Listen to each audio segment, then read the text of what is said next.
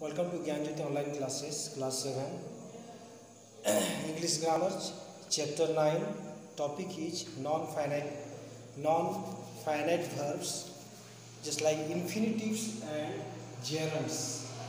Once again, non-finite verbs, infinitive and gerunds. Let's discuss about these different types of verbs. You know that verbs, uh, the main verb, auxiliary verb, being verb, there are different types of verb. And here, three types of verb. Let's discuss. It is very important one. You have to know. First, you have to know verbs two types. One is finite. You can see, and another is non non-finite verbs. You have to know what is finite verb and what is non-finite verb. Yeah, a verb that has a subject. Yeah, subject. Just like you can see in the sentence. The two sis the two sisters teach. Here the two sisters subject. Okay? And so is the tense. This is very simple tense. Teach. Person, third person, plural. Two sisters means plural. Number two. Two sisters. Okay? Person and number. Yeah? You can see that finite verb means it must be must have a subject. It shows the tense either present or past or future. Then it has to show present number. Either the person means first person or second person or third person. And number means singular or plural. Yeah, how many? When it shows that, that type of verb is called finite verb. Just like here, teach is finite verb. It's clear? But you can, see in the second number sentence, a verb that has no subject. Yeah, you can see, she likes to watch. देखने के लिए। She likes to watch films वह फ़िल्म देखने के लिए पसंद करती है। देखने के लिए। There is no subject first okay does not indicate tense देखने के लिए।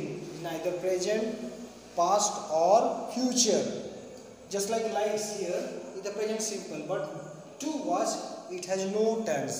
It's clear?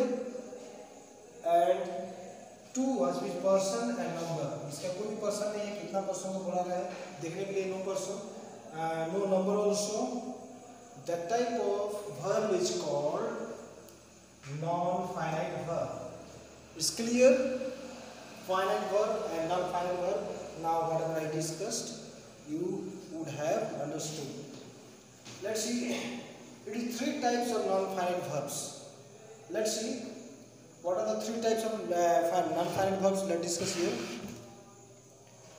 Here you can see uh, infinitive, then gerunds, then participles. You see once again, three types of uh, non-finite verbs are infinitives, gerunds, and participle one by one we shall discuss all these points let's see about these infinitives yeah about the infinitives an infinitive is also called a to verb what is called infinitive verb is to verb let's see. Because it is commonly found in the form of two plus finite verb. Two plus finite finite verb. Just like you can see in the sentence, uh, I want to buy. Two plus verb, verb is by to plus infinitives या infinitives to plus verb it's clear and infinitives are useful when we use to state an aim or purpose for example he likes to apologise या we sir state or when we wish to indicate result. For example she stayed two year the new here uh, to indicate result he stayed two year the news मतलब रुक गया कि वो number खबर जानने के लिए। क्या to plus news in very various way so now in this grammar the verb becomes as a noun or etcetera first number point the infinitive may be use in which is point I am discussing first number point infinitive then we shall discuss gerund and third knowledge participate So first number point in two plus infinitives. Let us discuss. To qualify an adjective as a noun yeah? Let's see do you know uh, adjective is uh, parts of speech which qualifies the noun yeah? A little girl ठीक listen here little is a uh, adjective an adjective and girl is noun okay? So it is qualifying the noun that means a girl is small size okay so here to qualify an adjective as a noun here lemons are sour sour is adjective या sour is adjective कितना नींबू कैसा है खट्टा है to eat खाने के लिए यहाँ to eat acting as noun या we know eat is verb but here nonfinite or infinitive acting as भर या मतलब भर नाउन का रोल ले रहा है। Verb becomes noun according to your lemons are salt salt to tell it नींबू खाने में खट्टा लगता है। या one or point you understand that to qualify an adjective as a noun it's okay another example you can say the children are eager to learn swimming eager eager is adjective qualifying. To learn is what? One of the uh, verb becomes noun. It's clear? A student. You can see the infinitive may be used in next point to qualify a noun. Yeah? A noun. Let's see. This is a good book to read. Here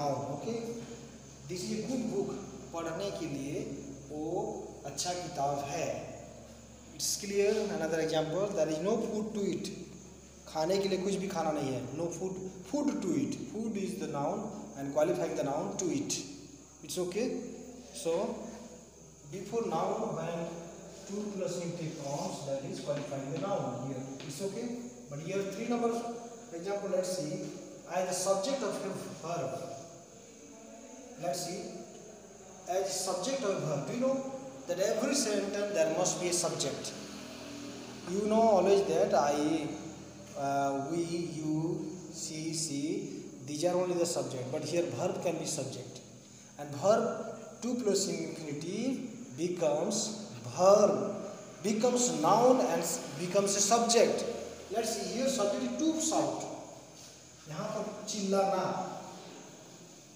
हम्म चिल्लाना एक तो subject है this to plus infinity becomes subject of a sentence to shout is rude चिल्लाना बहुत ही घटिया है rude मतलब बहुत खराब है। लेट्स सी तो here this to plus infinity becomes subject of a verb या I think you should practise more that when the verb also becomes subject to forgive is divine is human. Ear air is human, but the forgive to forgive is divine. Forgive मतलब माफ़ करना। God का क्या है? Quality है। मतलब कुदरती gift है। गॉड मतलब जैसे माफ़ करते हैं, किसी को हम माफ़ करते हैं, एक गॉड का दान है। Let's see to forgive divine to forgive here is the subject of a verb it clear so it can be taken as subject of verb now next point at the object of verb I should know the every sentence is either subject part or the object part or the predicate part sometimes object or sometimes not object You know, intransitive, transitive or intransitive verb, um, if you have not studied, the verb which carries sub object is called transitive verb and the, the verb sentence which doesn't carry any uh, object that is called intransitive verbs. If you have not studied then you can learn it. Let's see. Here, four point, object of the verb. I do not mean to offset. To offset. Here, sentence, you can see in the sentence the object part. Object part of the sentence. Just one other example. She likes to paint horses she likes to paint to paint horses here also we have seen it takes the object of the sentence it's clear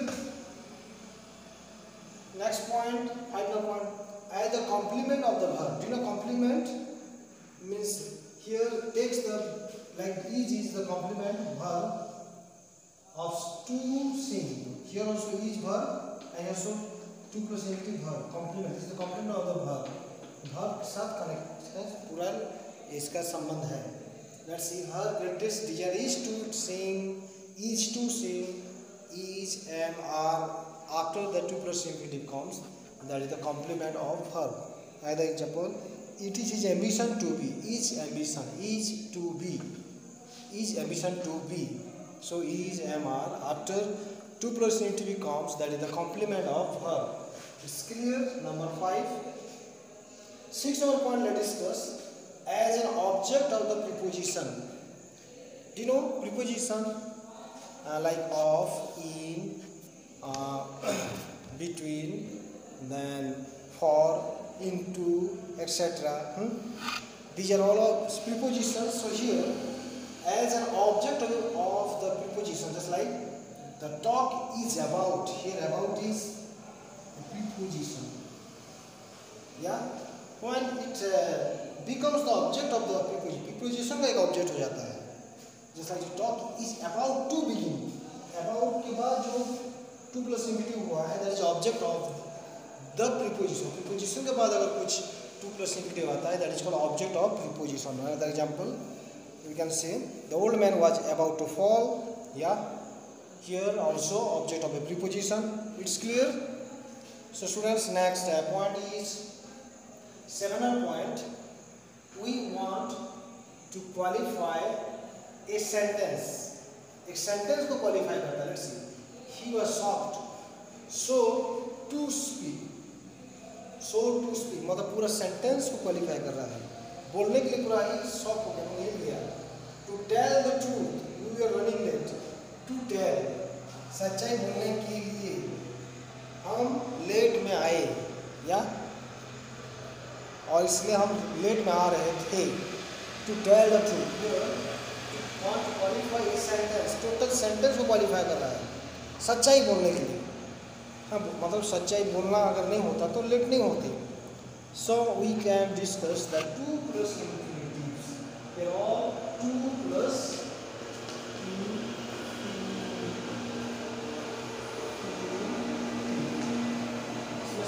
to to to to to to two plus infinitive is used. Next we shall discuss bare infinitives. Okay. So students, let's discuss about bare infinitive. The word bare means uh, no more to.